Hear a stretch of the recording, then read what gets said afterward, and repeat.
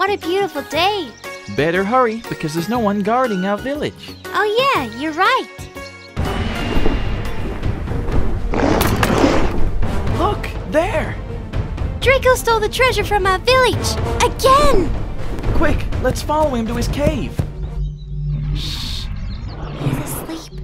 Let's get our treasure back without waking him up.